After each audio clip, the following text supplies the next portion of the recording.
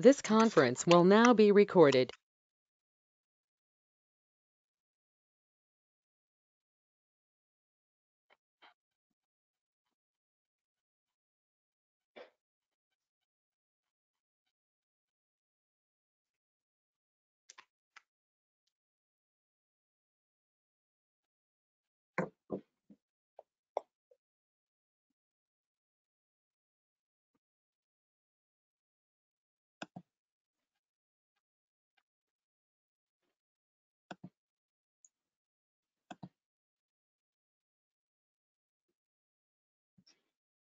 Hello, Jay.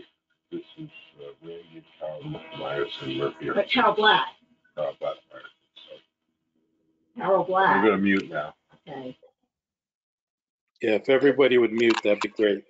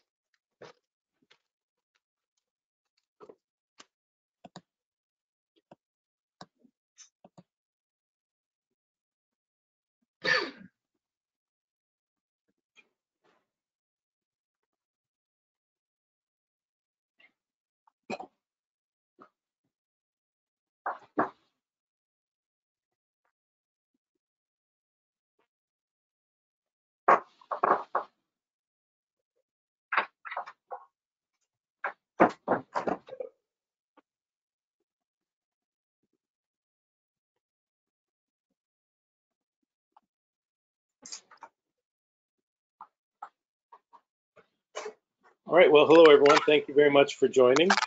My name is Jay Berkowitz, and I'm pleased to have my friend Jeff Zbar with me. And Jeff is a real expert in working from home. Um, some of us have been doing it for three or four days. Jeff's been doing it for 31 years. Uh, So Jeff, thank you very much for being here. And um, Thanks for having me. actually, I've, I've got a little intro slide for you, and then Jeff, if you don't mind, you can intro me. Um, so Jeff is the Chief Home Officer, and he's had that. How long have you had that brand, Jeff? Uh, since probably around 95, 96, uh, when I started really seeing the, the home office trend not take off, but really catch some some momentum. And so uh, created a brand around it and got involved in helping people with uh, home officing. That's really awesome. And um, Jeff helps companies figure out. He, for years, he's been helping companies figure out how to work from home. So today, it's apropos to have such an expert, um, and he helps individuals. So we're going to do sort of two kinds of uh, messaging today. One, how to help companies get online and figure out how to access um, your business remotely and generate business remotely. And two, how individuals set up their workspace and work from home. Um, so, uh, and, and Jeff, one of the things, amazing things that he said is he's raised three kids working from home uh, and been doing this for 31 years. So it's really, really awesome. So Jeff, thanks you, thank you again for being here. Thank you for having me. And um, what you could talk a little bit about me. Sure. Um, again, Jay, thanks for having me. Jay and I go back. Um, I'm, a, I'm a freelance writer and a, uh business uh, journalist and columnist, and I met Jay 20 or so years ago, even before 10 Golden Rules had launched. And I was doing a marketing column for some of the media down here and for Advertising Age magazine. And we got hooked up that way. And then Jay launched 10 Golden Rules. It really not the infancy, but soon thereafter of, of online marketing and how the, the seemed the the convergence of online and traditional marketing and how people can build their brands. And uh, Jay and I hit it off and, and got to know one another. And I wrote a lot about his his brand and and saw him grow that and grow his speaking. And so it's um it, it's been a fun rise, and I'm and I appreciate you reaching out. It was Jay who reached out to me when uh, the coronavirus, uh, you know, sort of necessitated uh, what some out there are calling social distancing, what our friend Bruce Turkel now calls physical distancing, because you not should not be sacrificing the social component because we can do it online and through you know electronic digital social means. But what we're seeing is the, the opportunity for people to stay connected, stay productive at work. And so thank you, Jay, for giving me the opportunity to share some of my insights with the folk out there.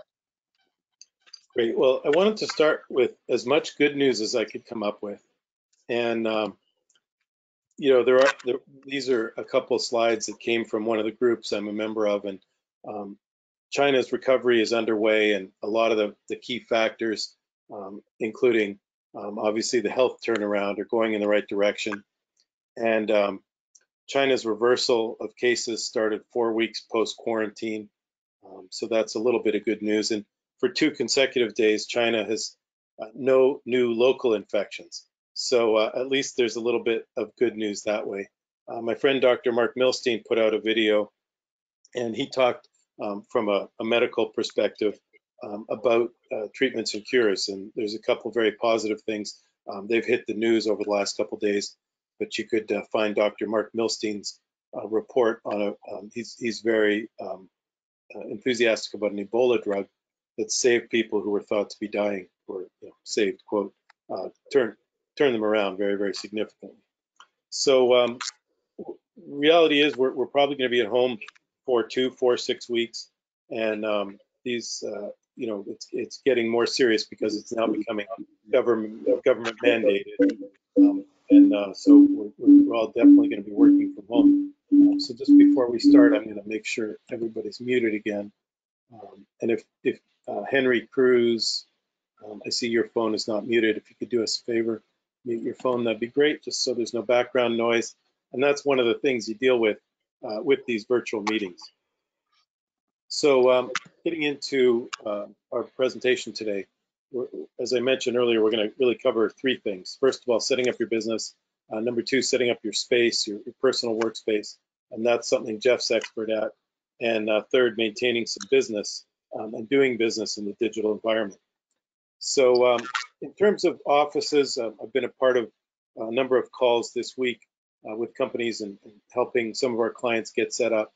And there's a lot of things that um, we've got to figure out. So um, one of the challenges for law firms and other organizations with lots of calls is just who's going to answer the phone. I mentioned my friend, friend Henry's on the line, and uh, Henry, uh, th thankfully, set us up with uh, VoIP, voice over internet protocol phones. And um, if you have a system like this, you can actually transfer your calls wherever you want. So if you had a couple of receptionists in a traditional business environment, um, they could still take the calls and then route the calls um, to your sales force. There's other little things um, that we've we've all got to remember. Like um, I had to remember this week to go and check the mail because you know nobody's checking the mail at the office, and there's a couple of Amazon packages sitting around. So you've got some physical things to figure out in the work environment in addition to the digital. But we're going to spend most of our time, uh, or most of my time, talking about sorting out your technology. So um, there's definitely challenges out there. Um, there's a rumor that there's no laptops available. And again, these are some physical things that we have to figure out. If um, you want to move your workforce from the office to the home and they have traditional computers, um, we've got to get them computer access. So some people will have a home computer, but good news, um, Dell will still ship you some laptops. So there is are, are still some laptops out there there's a lot of different technologies we use. And um, one of them that's been great for our company, we've been on Slack for about five years. Um, and it's a popular uh, uh, stock. The stock did very well when it, when it launched. Is um, it's basically like group chat for offices. So we use it for simple things like um, our team can post anything we need to order from Amazon. We order all our kitchen supplies that way. Um, and here we're just all talking about everyone's work from home environment and it's just you know kind of like a social component. But we use it for business. Like this is a new business and um, i'm working with the directors and they're creating um, a new powerpoint deck for one of our clients. So uh, slack is a really good communications tool if you haven't tried it. Uh, another one i don't have in the presentation that we're using really well for some different groups is called whatsapp. And um, i'm on a group of executives talking about coronavirus um, one of our boards of directors is using WhatsApp, um, and another networking group is using WhatsApp. So that's another one to consider, and it's really it's really just chat. It's like group chat on the phones. So uh, we're going to spend a lot of time today talking about virtual meetings, and and obviously those of you who came here today, and thank you for being here, um, were able to log on effectively to a go-to meeting. And um, virtual meetings have a lot of real functionality for the office. So um, first thing I wanted to do is differentiate. A lot of people are asking me, you know, what's the difference between a Zoom and a GoToMeeting and a Skype meeting? Um, and frankly, they're, they're all relatively the same in terms of their functionality. Um, the two big ones, as far as I'm concerned, are Zoom and GoToMeeting. Uh, we've been using GoToMeeting for our client meetings um, for over 10 years. And they even sponsored my podcast years ago. So we've been big GoToMeeting fans. Um, and then um, I'll talk more about Zoom in a minute. Uh, things like Uber Conference, we use a lot at our company as well. Google Hangouts are great. Um, the other day, um, the, I think the Uber Conference meeting was busy, and so we just hopped on a Google Hangout. Join.me, uh, freeconferencecall.com, and Skype all have a similar set of functionality. So very similar to what we're doing today, where um, you can present slides, you can speak, you can see uh, people on the cameras, um, very, very functional. Now, one of the hiccups uh, we're discovering this week is um, both uh, Zoom and GoToMeeting uh, have been having trouble with uh, outages. This is a tool called Down Detector, and it shows um, GoToMeetings had a lot of problems, Zoom's had a few problems. Um, I'm starting to become a Zoom convert, and mostly because Zoom is an online app and it doesn't rely on as much back-end technology and downloading the app um, actually on your computer. So it runs as a, as a more virtual um, application that people can just see the screens.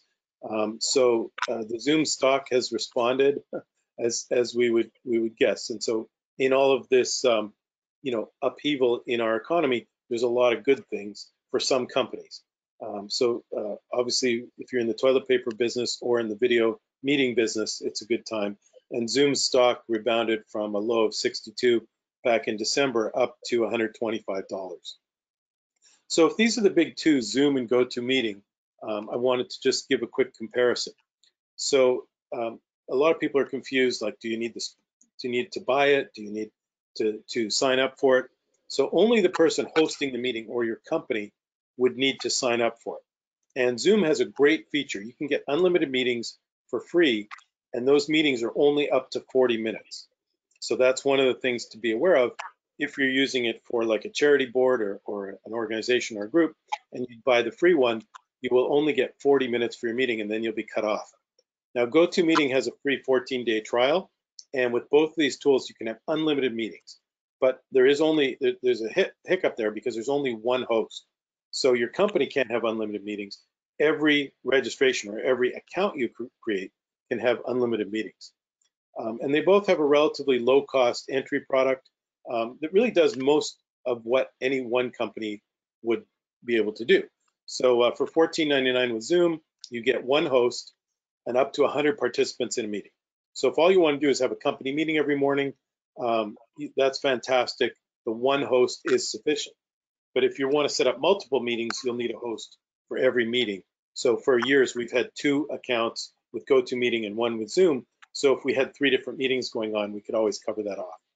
Uh, the GoToMeeting baseline product is $12, one organizer, and up to 150 participants. And then um, what some of the key features um, is cloud recording, and Zoom includes cloud recording. Um, GoToMeeting, you have to pay an, uh, up, up to their next level. I think it's called professional to get the cloud recording. Um, and both have more sophisticated uh, things, and you'll see that uh, broken down. Some, you know, you can you can have um, like a non-Zoom, you can have your own URL, your own company name for your meetings um, with the business product. And then with enterprise, you get other features like 500 participants, dedicated customer service and things like that. So uh, lots of um, choices, but if you're really just getting started, all you need is the basic package. And then there's a bunch of different ways to use virtual meetings. Um, one of them is just that morning water cooler conversation, like to keep everyone in touch and to have the camaraderie of the business and the office, you could have a virtual water cooler every morning. And you could just say that, hey, every morning at 9.15, we're having a water cooler, and we just want to know how everyone's doing. We don't even want to talk business. Um, another very important use of the Zoom meetings and the CEO group I was on, um, a, a, couple of the CEOs have held virtual town halls. And I think that's really, really important in this environment for the company to communicate um, business things. Um, a, lot of the CEOs got questions about layoffs. So you want to be prepared and you want to be proactive in talking to all of your employees. You want to manage the conversation. Another really powerful way to use these virtual meetings is for daily huddles. And Verne Harnish wrote an awesome book I highly recommend called Mastering the Rockefeller Habits. And Rockefeller and Steve Jobs used to use the daily huddles, and lots of us use them now. It's just a five to 10 minute meeting. It's always at the same time. Ours is at 9:15, and you talk about the priorities, everyone's priorities, the company's priorities. Um, there's a term in the book called rocks, like moving a big rock uphill. So you want to avoid any any possible train wrecks. And these these go-to meetings are great because they often save a lot of time, uh, needless sort of back and forth, because you sort of get everything uncovered. And then if there's a big big rock is is the term or a big problem that you can't solve in the 15 minute meeting, you can make it a topic for a weekly meeting and maybe assign a couple people to handle that. So you can do those with these these go-to meetings, very very powerful. Um, another term people are using is the virtual coffee. So like the virtual water cooler, um, you could meet up every morning at nine o'clock or 10 o'clock and just see how everyone's doing. And I think that's a really um, powerful idea. And um, our, our CEO group just booked our first virtual happy hour for this Friday at five o'clock. And so everyone's going to get together with a cocktail um, and have a virtual uh, happy hour. By the way, I think this guy's gone a little bit too far uh, with his uh, hazmat suit at home. Um, and another um, powerful tool is um, for networking. So our, our networking group held our first virtual meeting. Uh, tons of people showed up. It was really, really effective. Um, everyone was able to, um, you know, talk about ideas and uh, share leads, which is very, very important for business. Uh, we'll talk a little bit more about that in a minute. So if you want to get started as a company, just create that Zoom account, go to settings um, and, and figure out what you want to do. So like I'm the host, I'm, I'm, i have video on, I'm, I'm, my participants are going to have video. Um, I'm going to allow telephone and computer audio, um, and you can set passwords and all, all different kinds of settings uh, for your meetings. Then the first thing you want to do is schedule a meeting. Again, very relatively simple. Just pick the time, the length of the meeting, uh, the time zone, etc. You can do passwords or not, as I mentioned, and then it'll give you a URL um, like the one I sent you, you folks for the meeting today. Um, and then you just click copy this invitation and you get a really easy uh, tool that you can send out to everybody um, by email and by social media and different uh, social tools. A few tips, um, it's great if you have people log in in advance and try the technology first. Um, video and audio is great. Um, as I did at the start of this meeting, you want to ask the attendees to mute because if someone's uh, driving, which obviously is less less common today, um, or has a lot of background noise, it can be really disturbing to the meeting. And then if, if someone has audio problems, get them to call in from a phone because sometimes the limit of the GoToMeeting or the Zoom meeting is the internet capability. Um, and this is another tip I heard on a, on a call yesterday.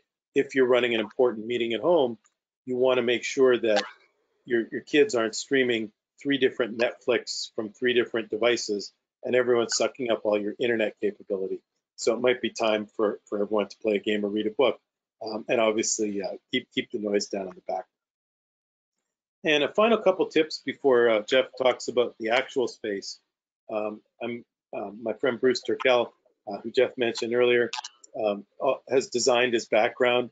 Um, so I, I just threw the uh, uh, the bookshelf up in the background, but Bruce has done a really nice job sort of configuring his space, and he's a beautiful art director, so he would. Um, and some tips from Zoom is you all want to look at things like lighting, so I got a little bit of front lighting here, um, blocked out as much as I could of the sunlight, um, and some advanced tips. Um, they, th this um, presenter at, at, Zoom was using the Brio Ultra HD Pro webcam, and she was using a Lume Cube for front lighting, and you can see how much better her her uh, her uh, setup looks uh, with that uh, professional. And then there's even a tool in Zoom you can touch up your appearance. So it actually does a little virtual uh, photoshopping for you and they have this incredible virtual background. So if we were on a Zoom meeting, I could use my virtual background that I downloaded from a website called pexels.com. Um, and that's pretty valuable if like if you if you have the kids and everything is in the background, you can use these virtual backgrounds. So uh, again, that's with Zoom, not with uh, GoToMeeting, but uh, pretty, pretty cool. So uh, next up, um, Jeff's going to talk about setting yourself up at home. Uh, so I'll turn it over to the Chief Home Officer. Jeff, take Well, it away. Thanks, Jay, and I appreciate the setup. Uh, and and one thing to keep in mind, uh, you know, this is all new to many people, and many companies don't, had never thought about telework, sending their people home to work. I mean, when I first started covering this years ago, um, there was a lot of resistance, a lot of pushback. And imagine 31 years ago when I started working from home, uh, it was not an acceptable you know, sort of in the in the vibe of the moment and the, the the times, it was not acceptable. Now we don't have a choice. They say in telework that it has to be voluntary, that both the manager or the company and the employee who's going home to work both have to want it. Um, best case scenario. This is not a best case scenario. This is Dickensian, as it were. It was the best of times, the worst of times. We're going to do what we can to manage and get through this. So that said, we've all been sent home to work. Uh, we are no longer, for the most part, white collar workers are no longer going into the corporate office. So you're at home. You walk in with a new sort of mindset of how am I going to make this work? You have to pick your space. There's a couple things to keep in mind when picking your space. You know, you have options. You might have a, a, a bedroom that is unused. In my home office, we've always had a bedroom. This, this uh, image you see here is essentially of a bedroom that is a dedicated home office. One thing to keep in mind, the power tool of the home office to me has always been a door that closes. Uh, it can keep dogs out and kids out during the day when you're working. Um, it can also close the office at you know either early in the morning or the end of the day when you, you pass by and you say hey, maybe i'll go back in and you know do a little bit more work check my email whatever. You close that door it turns off the office gets it out of sight so you're not going there. So you know something to keep in mind. Again dedicated space can boost your function your focus and your productivity. Uh, another option is vacant you know those vacant bedrooms converted garage garages finished basements attics other unused rooms you know, a lot of times you don't have that option, but you make it work as best you can. And again, the door that closes can stifle the ruckus and uh, and and keep the family at bay and keep the office at bay after hours. Um, when we see some of the other things to keep in mind, again, when you're picking your space, uh, you know, you want to look for lighting. You want to look for airflow. You want to look for the things that are going to make it work for you. And, you know, whether it's a quiet corner of a den, something that is away from the hustle and bustle of the family, um, you know, if there's ways to work around, this is again being new to all. You have to try and make it make it work for you. So if you don't have that extra office, you you know, a bedroom or an attic. You know, some have finished attics, finished basements. Um, you know, you go for a corner room. You go for a space like this, which is a space off the off the beaten path of you know, the side of the room. It's away from the hustle and bustle as much as possible. Um, you know, we'll talk a little bit about, excuse me, kids in the home office, but you know, you want to be away from the cacophony. And then one of the other things I say is one of the power tools is the, the door that closes in all our home offices. We've had that. In fact, we had French doors like these in one of our home offices where it allowed me to see out if, if one of my children came to the door, they learned over time to knock. You, you know, if we may back up for a second, this is new to all. This is new to the teleworker. This is new to the manager. This is new to the spouse or partner. This is certainly new to the children. Um, you know, our oldest now is 28, so she and her younger siblings were raised in the home office market and, and environment. So they came to know to if they came into my office, they come in quietly. Uh, we, some of us may remember the video from a couple years ago. There was this uh, gentleman uh, working from South Korea, and he was he was uh, opining on one of the news networks about you know the the current political conditions in you know between South and North Korea, and in walks his toddler, sort of proud and haughty, just walking in, and then the nanny reaches in behind, or the mother, I forget who it was, to to take the child back out. Um, that may happen. And you know, as a friend of mine who I'm on a radio show with frequently says, this is like live radio. This is like live TV. You know, things are going to happen. Everyone's got to understand we've made a pivot here. School in many in many localities is out. It's been shut down. So you are going to have kids at home. Uh, you might have a nanny who's who who's, who is able to work with you if if she is has been deemed clear. You might have kids from the neighborhood who, if if they have been asymptomatic, they might be able to come and serve as babysitters. We used to have a lot of that going on in our household. These are some of the options to keep in mind when working with kids. Again, some of the options for, for space, a quiet corner of the den, a living room, a bedroom, something off the beaten path. If you need privacy, like the image we showed a moment ago of the office off to the side, you can have potted plants that can work in there. You can have this, I've always spoken of the Japanese shoji screen, um, which is a divider that you can just put up and you can work from behind it. Um, and it and it sort of separates your office from the space. Again, it gets it visually out of your out of your line of sight, and it gets it visually out of the family's line of sight. And it doesn't make if your if your office is a bit. Look, I I work from a dedicated home office it's not always clean at day's end, so there's paper strewn about, and so it, it's it can get messy. So you want something that might make it less of an eyesore. So that's something to keep in mind. You know, um, again, away from the hustle of the family, well lighted, well ventilated. You want to don't want to feel like you're working in a dungeon or a cave here. So as best you can, I have a ceiling fan up top. I have light coming in from windows on the sides here. I have a, a, task lamp above my desk. I have overhead lighting through the ceiling fan. It really keeps it open, airy, comfortable. Um, especially when, for example, I do have to close the doors. I, am one who needs air moving in my space, so I often have the fan on.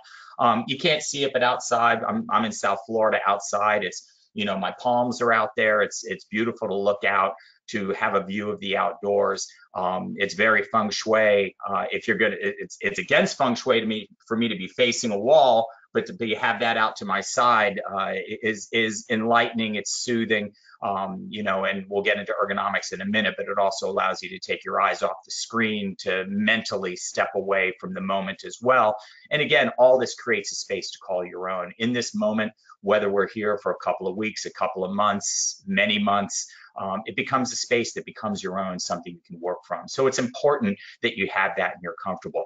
So where's your office? This image we're looking at here is bathed in, in, in, in sunlight, which is really nice, assuming it's not a Western exposure, which I have, which makes the, the home office very hot in the afternoon. So I put up a couple of pull down, dark pull down shades that really curb the light coming in and the heat, radiant heat coming through. We also do have palms outside, some Roebelenii palms, which cut the, cut the, the direct sunlight and as well as the glare. Glare is from an ergonomic point of view, from a practical point of view, glare on your screen and glare when you're in presentations, as Jay said, um, can be difficult. It's, uh, you know, we're not at, uh, we don't have a director. We don't have someone looking over us and saying, okay, the light's going to be perfect here. It's going to be over there. You got to do it yourself and, and cut those as much as possible. The image we're seeing here, where's your office? Again, kids are part of this scene.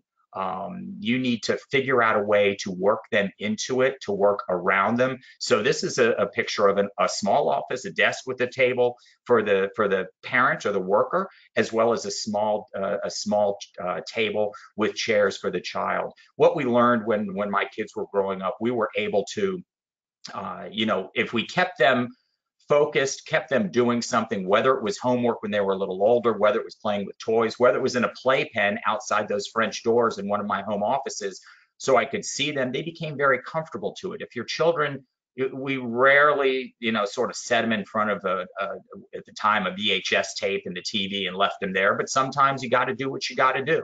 And if they're on an iPad, if they're in front of the TV, I see Jay nodding in, in agreement back there. But you know, whatever it takes to to keep them focused and out of your hair. And sometimes you just got to punt. You got to realize that if you can't work to, during their nap time, that and you're and as a manager, you have to understand that from your employees, and as an employee, you have to understand that sometimes you just have to be with the kids because especially the youngins they're going to require your time and especially since many parents now are being de facto homeschool teachers um, so it's something to keep in mind. Uh, a topic here that, that has really become important, excuse me, is the concept of ergonomics. If you, ergonomics truly is space being designed to fit the human experience and the human you know person. So ergonomics is not an, a, a, a, euphemism or code for expensive. Ergonomics is just having the right chair, the right desk, the right lighting, the right you know creature comforts around you so that you work comfortably. This can include your chair, desk, lighting, mobility, how you get around, what you do, what you're able to do. Um, and you'll see that I, I, was on with a with a coworker. I'm a freelancer, but I was on. I, I, think of my my clients as my partners. I was on with a coworker who was sent home to to uh, telework for the first time in in ever. She had never teleworked. She would occasionally do some work from home, but she brought her computer home. She had a desk at home, and she was uncomfortable. And she had never worked eight or nine hour days, which she does in the office. She had never worked from the home office like that. So I said, well, how high is your desk? How does your chair compare to what you use in the office? You know, are there things that you can do if you take these measurements? Maybe go out and buy an ergonomic chair to make it more comfortable for you. Maybe put a, a little footstool underneath your legs to prop your feet up a little bit to get the pressure off your lower your lower back and the back of your thighs. Um, you know, your your uh, I think it's a hamstring on the back of the thighs to make sure that it's not straining muscles that you and, and regions and joints that you don't usually use. So, you know, ergonomics can help keep the chiropractor away. So it's important to to you know do what you can to make it happen if you can forward. Um, so, you know, what we look at in the chair, it has, we'll have an image in a second, but we'll go through these now. Has adjustable armrests, back and seat pan, uh, which is essentially the, the the seat pan is the seat you sit on, back, you know, adjustable back, ideally five legs with casters for mobility. Um, it is fully adjustable all the way around. The arms will adjust up and down and they might tilt, they might tilt outward. Um, and again, you have uh, pitch where the seat pan will go up or back in order to pitch how you're sitting in the seat. So sometimes if it's too far down, you'll feel like you're sliding out. Sometimes it's too far back, you'll feel like you've got uh, not enough weight distributed out to your feet to keep you comfortable. Um, and again, you want a breathable fabric. I've never been one for those leather executive chairs because I work from home and I often work in shorts. So, you know, you're, you get, it can get uncomfortable working in a fabric. All my chairs that I've ever had that have been, whether Herman Miller Aeron type chairs or a hundred dollar chair from an Office Depot have been just they've had mesh fabric, so I can my body breathes on it. It doesn't get stifling. And again, at the bottom there, 99 to 400 to 700, whatever you want to spend. They don't have to. It is not a euphemism for for expensive. So keep that in mind uh, when looking at your at your chair. Jeff, um, uh, that's yes. one of those ironic things. I, I bought the fancy Herman Miller chair and uh, we we had all these ninety nine dollar chairs for for the rest of the team, and I loved the ninety nine dollar chair. It yeah, was way better, way better for my back. So.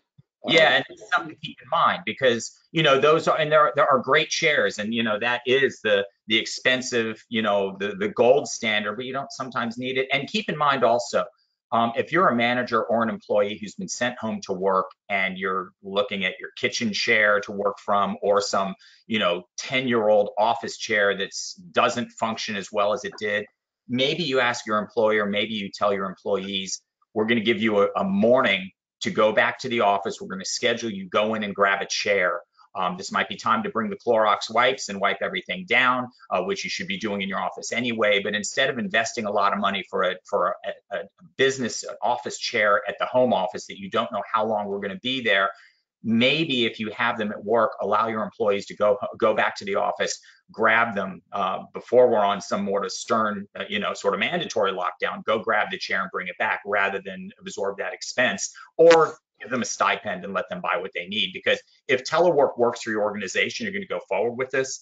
You're not going to want to skimp on on on furnishings and then have people be making claims on your on your health plan because they're going to see a chiropractor or an orthopedist.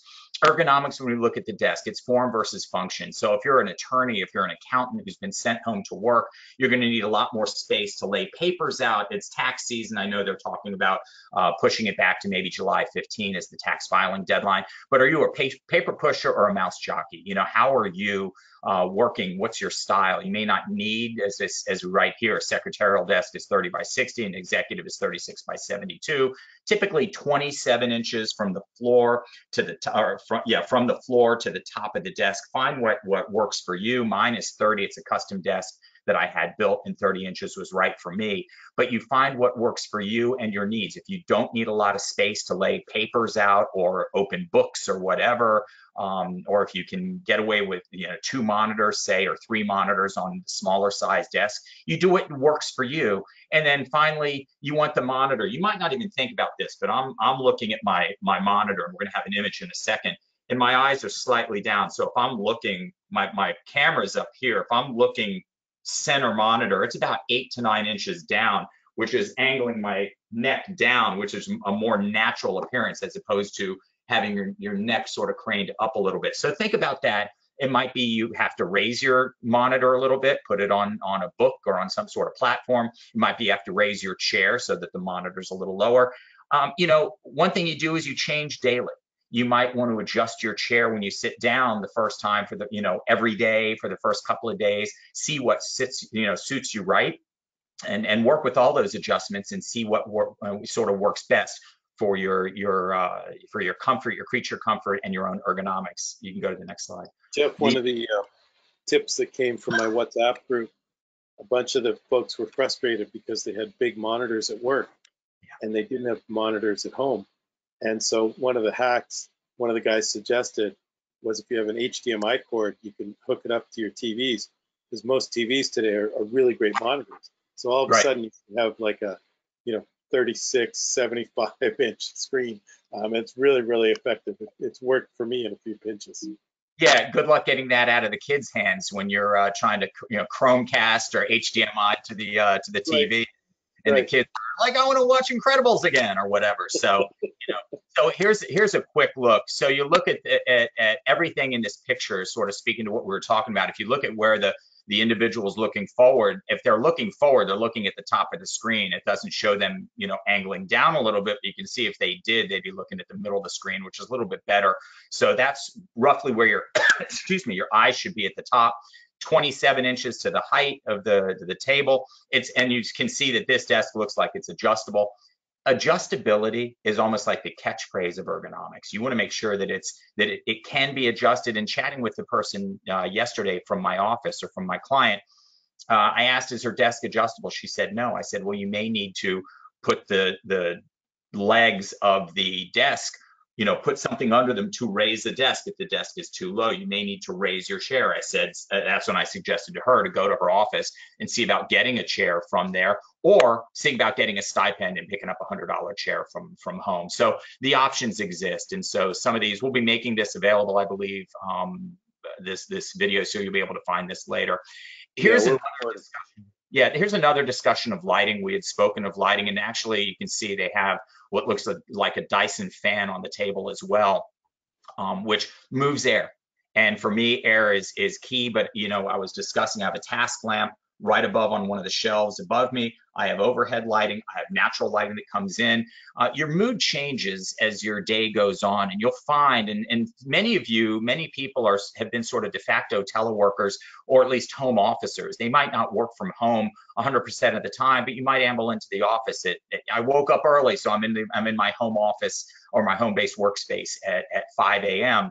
So I have natural lighting. The, the east is through the doors behind me. So I have the sunrise and the natural lighting of the sunrise that comes in. And so I turn on my overhead light. It's very subdued. I have my tea. There's a different vibe. There's a different ethos. There's a different sort of zen, as it were, that happens at different day parts. And so you'll find that. And so my most productive time, for example, is first thing in the morning.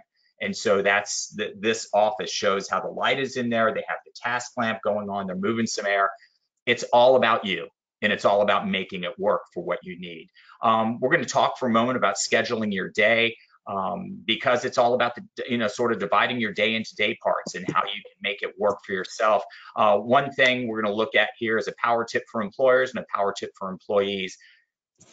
Employers who, who are on board today, the managers who are on board, don't tell your teleworkers, but you're going to get more hours out of them probably because they're going to enjoy working, not enjoy, but they'll find themselves working early. Person I was talking to earlier this week said, I'm in the car at 8 a.m. to get to my office by 9:30. So she's like, I was ready to go at 8. I was at my desk at 8 a.m. She's not home till 7, 7:30 at night, so she worked a little later during the day. I said, Well, I hope you're taking some of that time during the day to get out and maybe go around the neighborhood. She said she took a walk around the neighborhood that she hasn't done, you know, typically doesn't do otherwise. You can't keep your butt in the chair all day. You got to get up and get out. And then a power tip for teleworkers don't work longer hours just because it's there. Okay, so we're not going to tell your managers here, but you're going to, you know, you will be enticed to possibly work longer hours. Just become the master of your clock and calendar. Figure out when you're when you're going to sort of punch in, when you're going to punch out. You're going to take breaks during the day. You're going to note all this because, again, as it says, you know, time is our, our most precious resource. How are you going to maximize it without getting burned out? This is new. You've got might have kids at home. You might have your spouse at home. You're not used to the new sort of dynamic of, of family around you in the moment. You're you may have pets, a dog, a cat, or multiples that you're not that are not used to you being around. The cat saying, "Oh my, this person's home all day now. What am I going to do?" So you're going to have to get used to to all of this. So make sure that you're not getting stressed. Um, kids, it's a big issue. If any of you have young children out there, um, as I said, you've become a teleworker you know, a, a, a, an employee who's working from home, and in many instances, you've become a de facto homeschool teacher. So, as the best case scenario, rule number one for those with kids at home or young children, telework is no substitute for childcare. So you're not working from home in the best of situations, not you know coronavirus situation. You're not working from home so that you don't have to put your kids into into uh, daycare or preschool or whatever. So you have to keep that in mind.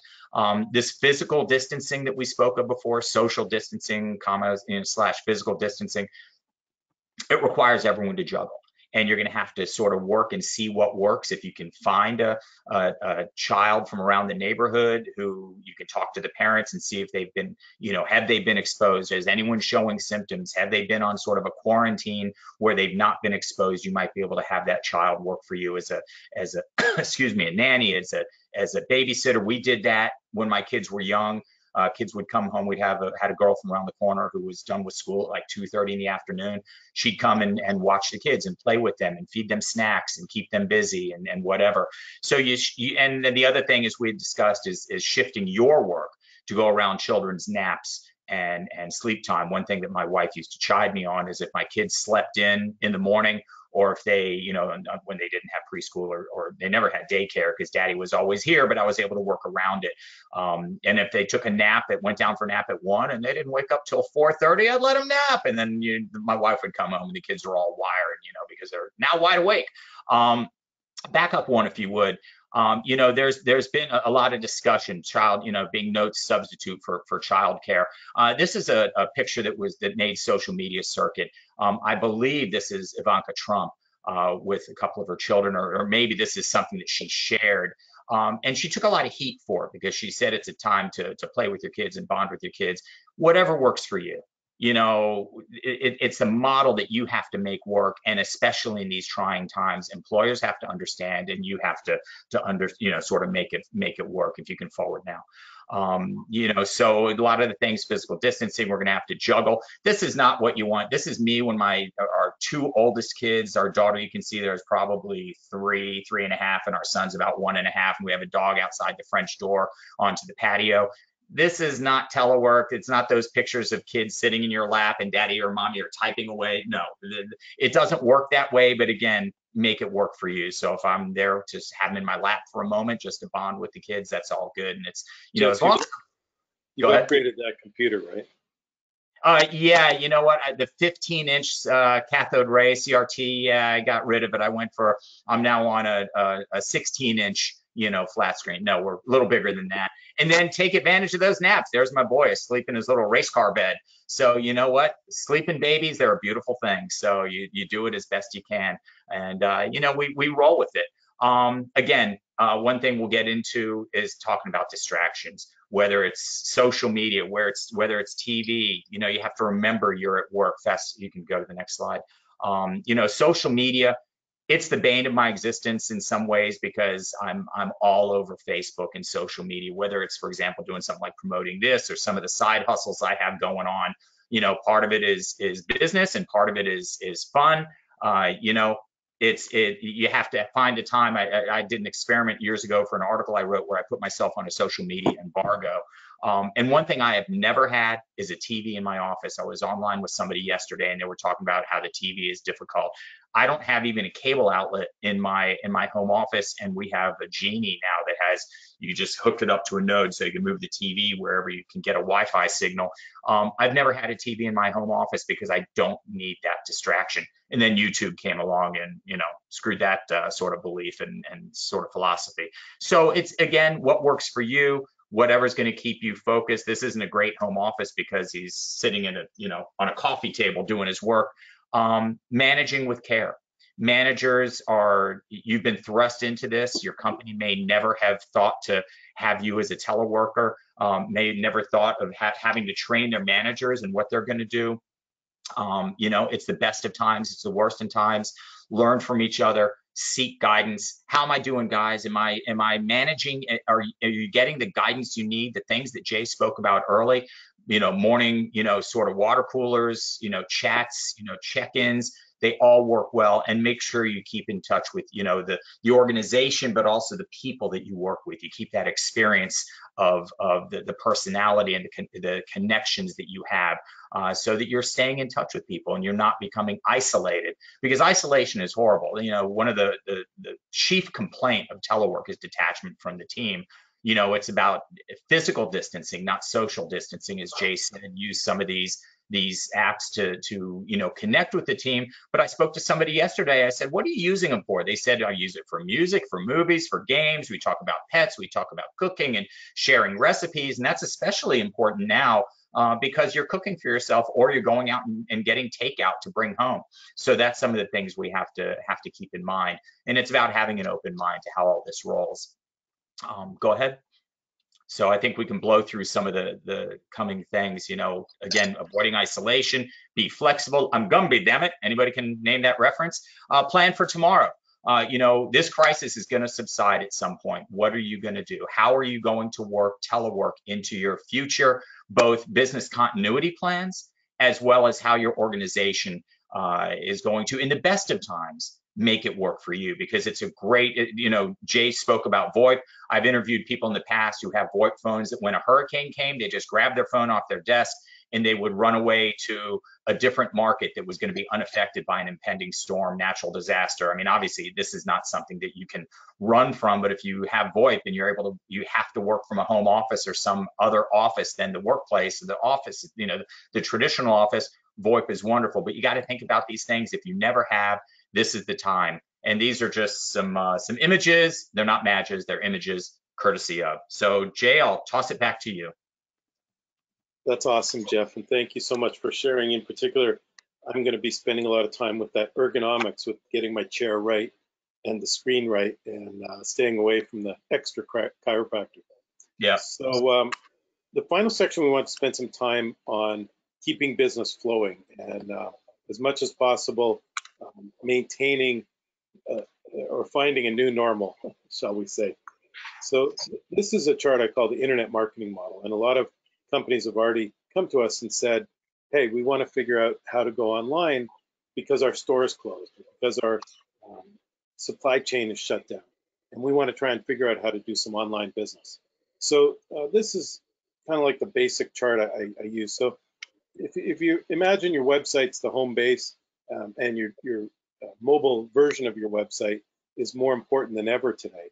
Um, so everything's going to pretty much drive into your website, um, unless you have the opportunity to sell on Amazon or another platform. Um, and so the, the, first place you're going to get traffic, uh, get leads, get business is people actively Googling, searching for your products and services.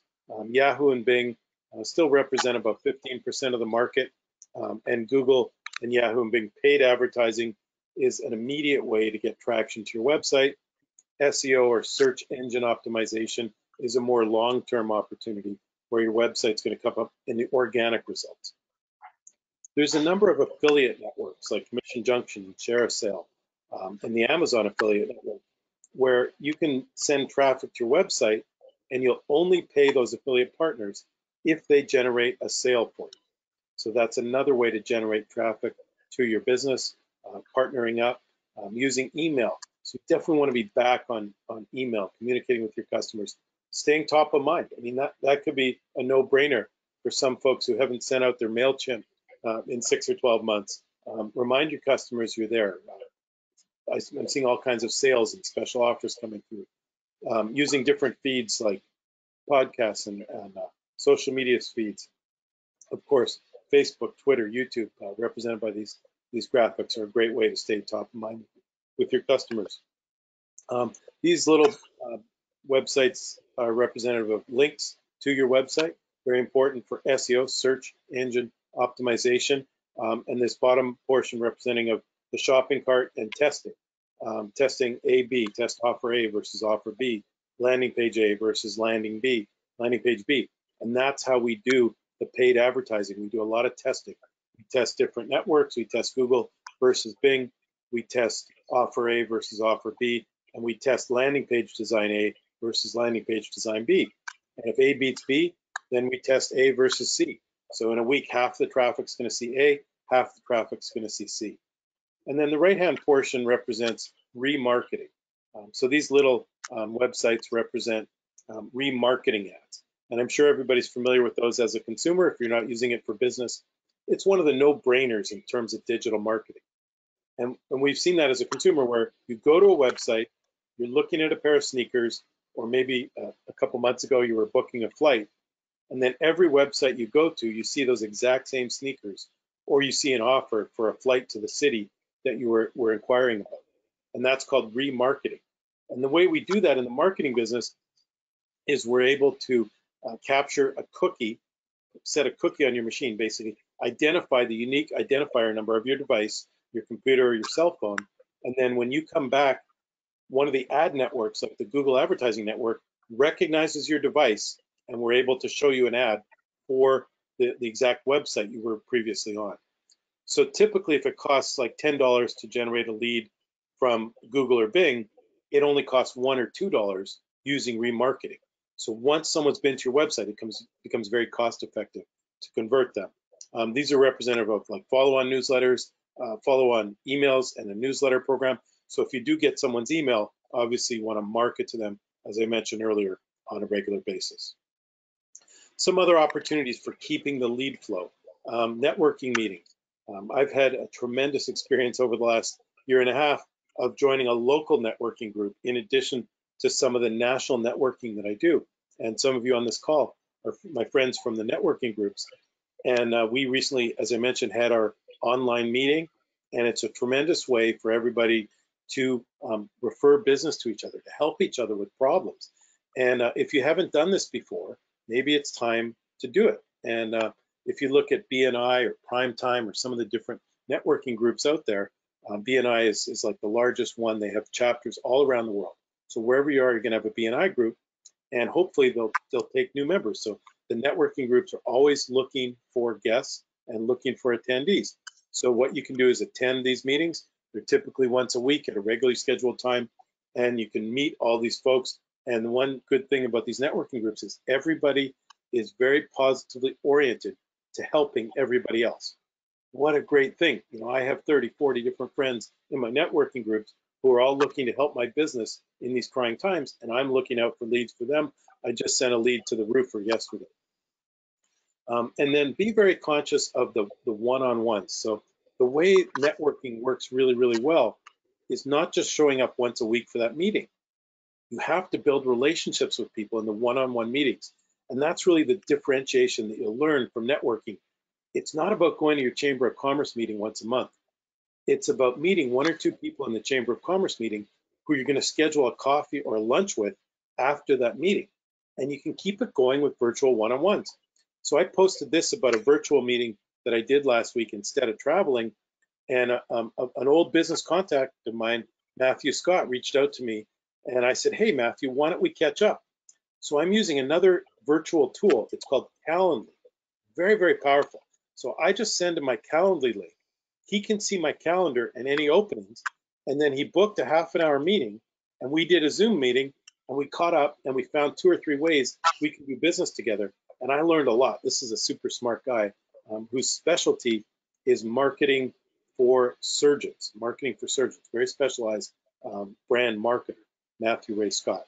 So doing those one-on-one meetings is a way to keep your relationships and your referrals flow coming in. Another tool we use is DocuSign. So just because you can't have a business meeting, you can set up one of these go-to meetings. You can present your, your presentation, your business, your PowerPoints, your slides, your contracts, and then send a DocuSign and get a signed agreement and keep doing business.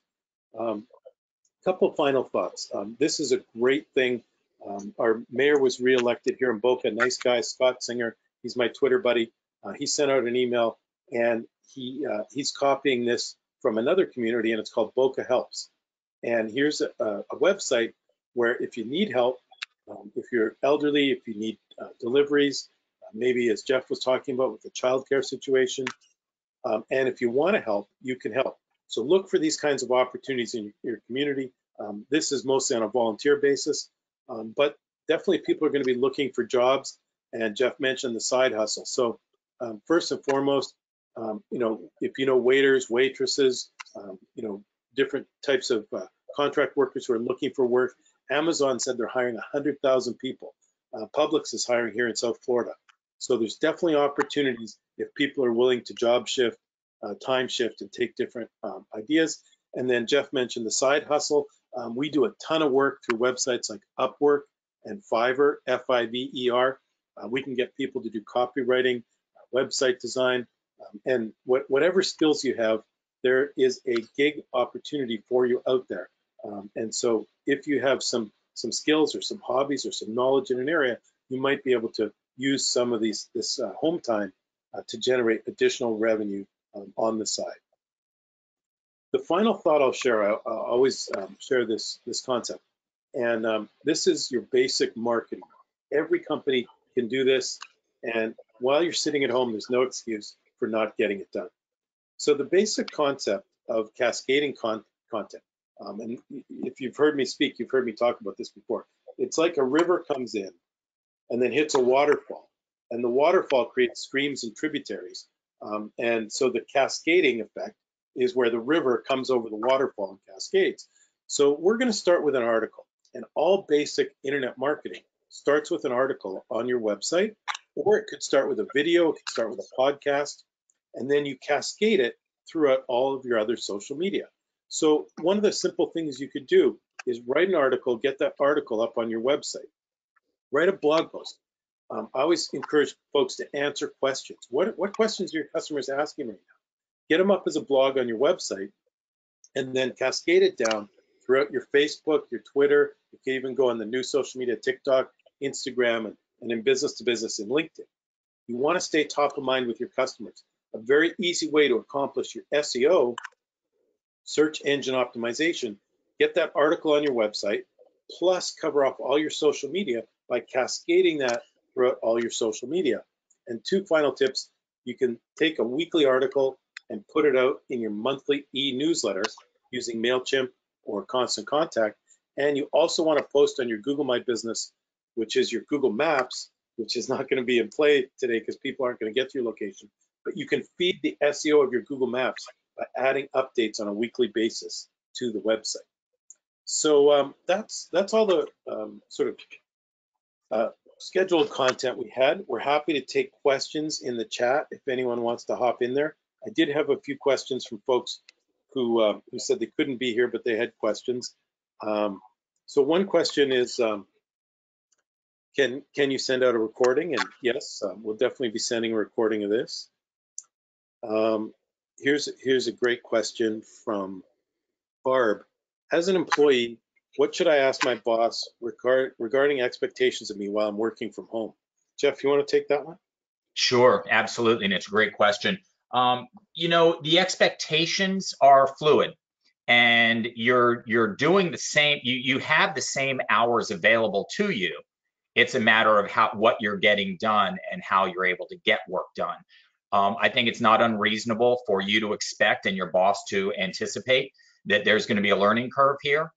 Um, but and, and, you may have some, I don't know, Barb's situation, whether she has children at home, whether she has a, a parent at home that she's tending to.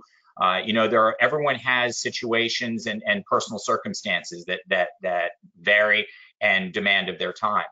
Uh, but it takes a heart to heart. If you can't help um, you can try and change the mind of an unreasonable boss. You're working for like the person I said earlier who gets, you know, she would leave her house at eight, so she's in her office at eight. She wouldn't get home till seven, so she might be in her home office until seven. That's the outlier, and I would not expect most people to do that. You know, notwithstanding what I said about, you know, the little secrets of of uh, for managers and for teleworkers. But you have to have a heart to heart And if your boss is unreasonable, you have to try and understand where they're coming from and they have to understand where you're coming from. And this just, it, it really takes an open mind on both sides. Um, the next one's not a question so much as a tip came in from Henry, who I mentioned is the voice over IP expert. I'm happy to share his information. Um, Henry suggested that if you're running one of these go-to meetings, you should use the hardwire for your internet because with everybody in the neighborhood and everybody in your house using Wi-Fi, um, you want to make sure that you can run your go-to meeting or your Zoom meeting effectively. Um, next question is, um, uh, oh, how do you upload a document? So on the different tools like GoToMeeting and Zoom, um, there's a share the screen icon. So you just click share your share my screen, and then that's how you show a document on the GoToMeeting like I was showing the PowerPoint, and now I just went to the screens. Um, next one, Jeff. Um, well, we, we covered this a little bit. Um, how should employees deal with loneliness? Um, but we talked about things like having a virtual water cooler, have a one-on-one -on -one meeting. Um, you know, very important part of the business vernacular is the one-on-one -on -one meeting. And our company, we have a one-on-one -on -one meeting um, with with our boss and, and our employees every month. So you want to continue those. Use the Zoom meetings for one-on-ones um, and use this, either have a set up a virtual coffee or a, a, daily huddle if it's more of a business meeting, and maybe use the uh, social happy hours, the virtual happy hours. Jeff, what, what do you think about um, how should I, I loneliness? Covered most of it. I mean, you covered a lot of, of some of the options out there. Isolation with regard to work. So you have two you know two ways or two audiences or two touch points in your life that may be affected. You maybe feel isolated from the workplace so you have those those uh, virtual opportunities to connect with your your teams. Um, you know part of it also is traditional social media. Without getting sucked into it you know, maybe because I, I, as I said, I'm an addict when it comes to social media, and in no small part because I have those, those, you know, sort of side hustles I work on that keep me engaged with other people. Um, you know, it's it, keep in touch with family members as much as you can. I mean, I have uh, when my mom was alive, we'd have a 10 a.m. call almost every day and uh, that was that was engaging. Our our children have have moved, and so my daughter, who used to call me every morning when she was living down here, she's now living out of town, and we have those calls. And I think that it's not unreasonable to reach out to to family and friends and loved ones and just stay in touch, keep in touch with the work, you know, people back at the workplace because they're probably going through the same thing. And then if you have passions, pastimes, things that you can do, hobbies maybe throw a uh, little that into your life and it's and it's no problem to do it i think um, during the you know the daytime hours during the, the the work hours because you will be time shifting a bit and working a little bit before traditional hours and after traditional hours. So if you take a little time for yourself you know you're not typically going to be taking an hour hour and 15 minute lunch or whatever you would in the office. You know you can take a little time to yourself and sort of break up the monotony of the day. Joe asked um, Jay, can you discuss video conference software preference for the initial office conferences with new potential clients? So um, let me just go back to this slide. Will work. Gotta get the conference back on. Um, yeah, so I mentioned the two big ones are Zoom and GoToMeeting. Um, the advantage of Zoom is people don't have to download an application. Like if you guys were joining your first GoToMeeting today, you had to download a little application. It seems like that application download is slowing down GoToMeeting. And the Zoom meetings are from all my groups and all my input, the Zoom meetings are working better this week. So if I was starting fresh, I would set up a Zoom account. Um, as a host, every salesperson um, or every business person who's setting up client meetings will need a Zoom account. Or as a company, if you only need one or two Zoom accounts and you can share them um, when, when, you don't have concurrent meetings, that works too. Like we have um, a general login for the company, and then I have an account for myself. So if it's if it's client meeting, we can use one. But we we have, uh, as I mentioned, a couple go-to meetings and a Zoom and an Uber conference account. Um, some of the other ones, Uber conference, Google Hangouts, Join.me, um, and free conference call and Skype work just just to set up uh, you know virtual meetings Facebook Live. There's a bunch of options, but you know, my my recommendation would be Zoom. Um, Jeff, what's your go-to? Um, I don't do a lot. I often fall back to to what my clients need. So we do use GoToMeeting. I use Skype for some as well. So you know, it depends on what the clients need. Also, I use for conference calls as opposed to meetings. I'm a I'm a fan of free conference call. Um, I don't know if people know what that is, but it's as it sounds. They give you a dedicated. It's a dial-in number with a dedicated conference bridge, you know, login that uh, allows you to make a conference call. I don't even know what the limit is anymore for how many people. I did one today where the client I was working with, their their bridge was down. I guess, it, like we said, there a lot of these applications are getting used heavily. Um, so I just shared mine, and it's something that I keep on me as far as the dial-in information. I don't use it a lot, but when I do, I've had it for probably four or five years, and it's it's mine, as they say, and it's free. If you want to record the call, if you want to, uh, you know, share the call, you want to invite people to the call, it's really easy, and it it gives you also as a home officer, not necessarily as a teleworker, but as a home officer, um, it gives you sort of the cachet of having, let's use my conference line, you know, so you can do that. And it gives people sort of a feel, those who may not know, it gives them a feel. Although when you, when they dial in, the first thing they hear is thank you for freeconferencecall.com. So, but still, it's, it, that's one of the ones that I, I like to use if I'm doing, you know, traditional landline or, you know, wireless cellular uh, calls. So there's a number of them out there, like you're saying, they all have their different features, their, their price points. Um, it's whatever you've used or whatever works for you. Great. Um, I have a, a question from Kelvin. Um, what should a company expect of their employees? Jeff, you want to take that one first? Well, I think you should expect a learning curve for the employee and the you know the manager or the supervisor or the you know whoever's overseeing and depending on how big your organization is. But brass tacks they got to deliver. And there may be things that get in the way and make it difficult but that can only go so far. Um, you know this is going to be trying times and who knows how long this is going to last um, and who knows whether the the the the sort of quarantine and so not you know and social distancing and the, the physical distancing that we're going to be going through how long this is going to last. Um, in as much as i've said you know telework has to be voluntary or ideally telework would, should have been voluntary that's give them a, a week to get settled in and then say you got to make it work uh, because everyone this is an all hands situation for the company. If you are a believer in your organization as an employee if you have that that I've always said that that successful people, successful workers are either entrepreneurs or they think like an entrepreneur. So whether you have buy-in to your company or not, that's what's going to de- determine how you succeed in this in this virtual workspace, in this home-based workspace. So it's not unreasonable for the for the employee to take or need a little bit of transition time but that's what this week was. That's what maybe the first part of next week is. Um, if the if the employer is making every opportunity available and saying you know come get your chair might throw you a little stipend to go to your local office supply store or a you know wherever to, to get a desk and, and get something that you can work on so you're not at the kitchen table. You know there's expectations um, on both sides but I'd, I'd say this time next week, we better be cooking with gas because you either jump in or fall off. And that's, you know, those are your two options. Make it work or find some other place to work. Yeah. Yeah, I agree. As an employ, employer, you know, we certainly understand that this week is about creating the new normal and, and getting it up to speed.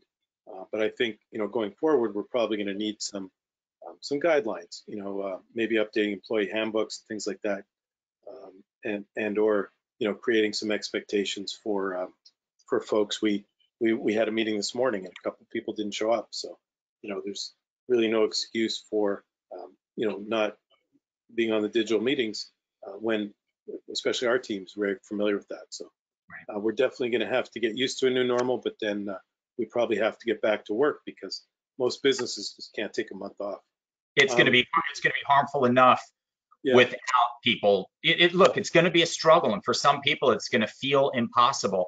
But we're we're going to have a hard time for a little while here, and so you know this is your transition period.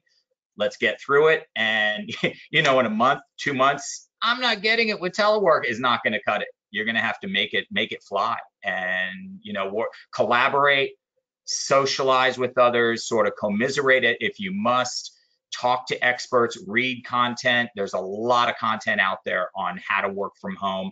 There are a lot of groups out there on social media, and there'll be a lot more now with with more people doing it.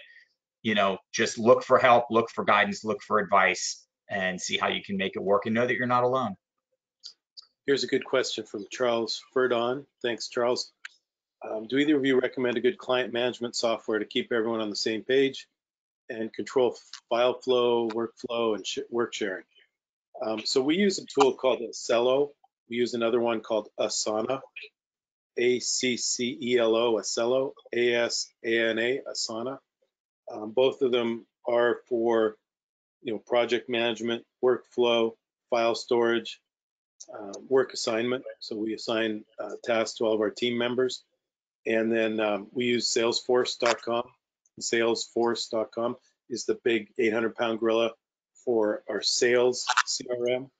Um, and that's basically managing um, our sales leads and um, sales follow up, sales proposals. And then um, once we activate a client, we go into Accelo and Asana. Uh, Jeff, what, what do you think in terms of CRM? Um, I don't I don't have a lot of needs for it, but I mean I'm I'm really a, a, a Google Docs and you know the Google uh, environment guy. So all my work is really done through the Google platform.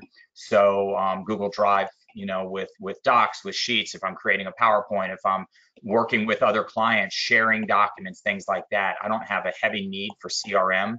Um, I used to use Outlook, but it got bloated, and uh, so I'm now on Google Contacts. And while it's not as robust as I would like, it serves my needs. And also as a micro enterprise, um, you know, a party of one in the way I work, um, it works well, and I'm able to get other people involved in it as well. And then uh, so it's it's it's worked well for for my needs. So if anybody wants to ask a question, um, I can try unmute, uh, and we're happy to take some voice questions. We've got a couple folks brave enough to be on camera. Hey, Carol, Michael. Any other questions? I use Act as my CRM. I've been using it for years. Works great. Also, uh, Zoho. I used to work for a company that had Zoho that everything was integrated. That reminds me, I used to use Act way back when, um, and it was great. I, you're right, Michael. I mean, I really enjoyed using it. Um, it was robust. Um, it, it really worked well, and and I'm sure it's even better. I, I'm not sure. I, I presume it's um, cloud-based in the application. How, how you you use it, I don't know if it's local or if it's cloud-based or uh, sort of both. Um, Both. So you know, I remember using it, and I really enjoyed its its functionality. Great. Well, if there's no other questions, oh, Henry. Hey, Henry. Hey guys, listen, first off, great webinar, a lot of great information for a lot of people that haven't been working from home. Um, you know, I, for one, I work remote a lot. Sometimes I just go to the office about once a week, but this is really good. Um, another good, it's, I use it like a CRM as well, and I can also do a lot of marketing emails and stuff from it, and it's free, and you can send up to 2,000 emails at a time, is, um, I mean, a month, is um, HubSpot. HubSpot is really good. It also has some templates where you can go in there, create your nice little designs, upload it, send it out, and, and it's really no big deal. There's no limit. And I've been using it now probably for about two years now for free. And it keeps track of how many people opened up your emails, um, if they clicked on a link, if they forwarded, all that. It's called HubSpot. It's really good. Yeah, we love HubSpot. That's another one. It's awesome. Great. Yeah. Well, um, we just got over an hour, so uh, thank you all so much, and thank you for being here. We will uh, we'll send in, everyone a copy of the recording, and um, you know we'll keep it going online, and um, you know please connect with me, and, and I assume Jeff, you, you're open to connecting with folks on social media, and we can um, you know, keep the conversation going and, and get through this tough time. Yep, absolutely. I appreciate your having me and good luck to everybody. Make it work. And, uh, you know, this, this too shall pass, but hopefully telework will stay with us. Thanks, Jeff, Absolutely. so much. All right, Thanks thank you. for being here. Thanks, Jay. Peace, y'all. Thank you. Bye bye. Thank you. Thank you.